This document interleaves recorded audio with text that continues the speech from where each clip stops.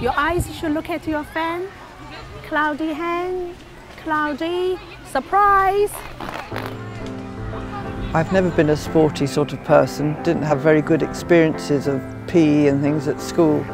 I used to come out last and hide behind the, um, the hockey equipment shed, hope that the teacher didn't notice.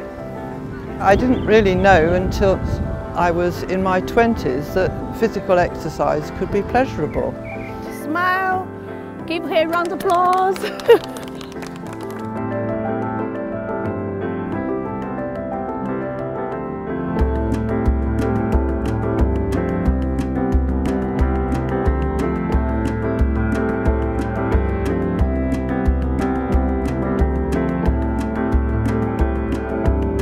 I went into teaching at the age of 40 and I've been retired since 2010. And when I retired, I thought, good, can become a couch potato now.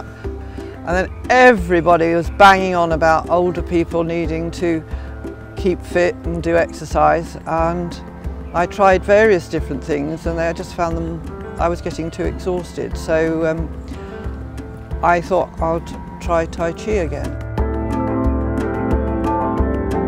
All the moves have names from nature, so the standing tree meditation, then things moving like water and cloudy hand, all the moves are connected with nature.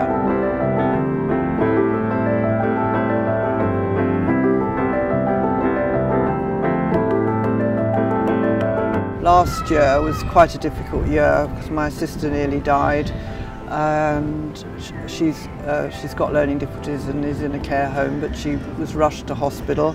And at the same time a cousin was dying of cancer and I kind of cut out most things out of my life but I just felt going to the class was keeping me giving myself something. It really helped to come along and also knowing that I could tell the other people. And I mean the day that my cousin died was one of our classes and I was able to just say I've come anyhow and you know people giving me a hug.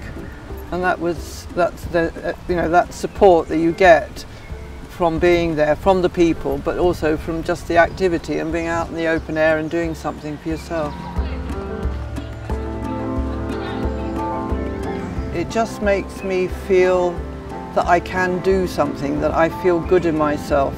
I, I get in touch with my own energy and my own power, which is very good. And I can go home feeling in a good space.